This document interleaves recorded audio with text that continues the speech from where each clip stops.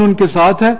और हमारी ये ख्वाहिश होगी कि हमारे जो सूबे हैं, क्योंकि जो हमारे रूल्स ऑफ़ बिज़नेस है, जो हमारा आईनी फराइज हैं, जो जब तक ये डेजर्ट में होता है, वो वफाक की ज़िम्मेदारी है कि उसको खत्म करे। But once they cross into cropped area वहाँ फिर सूबों की ज़िम्मेदारी बन जाती है। उनके फराइज शुरू हो जाते हैं और उन्होंने बहुत काम किया। बलूचिस्तान में इस वक्त इकतीस या तैतीस इजला में इस वक्त लोकस घूम रहा है। वहाँ बहुत सा काम किया जा रहा है। उसके साथ साथ सिंध में ग्यारह से तेरह इजला में ये जा रहा है। पंजाब में भी ये कोई बारह तेरह इजला में था। चंद दिनों से कहा जा रहा है कि वहाँ शायद कम होकर चार या पाँच इजला में रह गया। केपी में दस से बारह इजला में था। वहाँ ये पहली दफ़ा अफ़गानिस्तान से एंटर हुआ।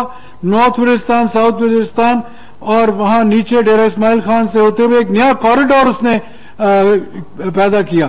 पर उसका भी इंशाल्लाह हमने दावा किया है। हमारी ये कोशिश होगी कि जिस हद तक हम कर सकते हैं इस चीज़ को हम मुकम्मल तौर पर फेस करें और इंशाल्लाह इक्विपमेंट हमारे पास आ, कुछ आ गई है कुछ आ रही है। और केमिकल्स जो है वो भी हमारे पास इस वक्त चाइना की इमदाद के साथ हमारे पास हैं और एनडीएमए ने और भी प्लेस किए हैं इसके लिए आ, मार्केट में। और हमारी ये कोशिश होगी कि हम इसको करें।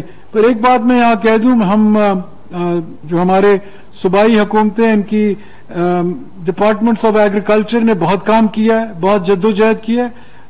हम इनके ताउन के मुकम्मल तौर पर क्या कहते हैं अभी would like to thank them for that और हमारी एक आपसे इस्तदा होगी कि आइंदा आने वक्त में आप उसी स्पिरिट के साथ, उसी जद्दोजहद के साथ, उसी जहन के साथ आप और हम मिलकर इस चीज़ को फेस करना है। शुक्रिया।